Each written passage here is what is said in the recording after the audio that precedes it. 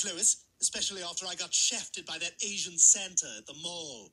What you want? What you want for Christmas? Um, I was thinking maybe one of those old timey. Too late. Take too long. Sad Christmas.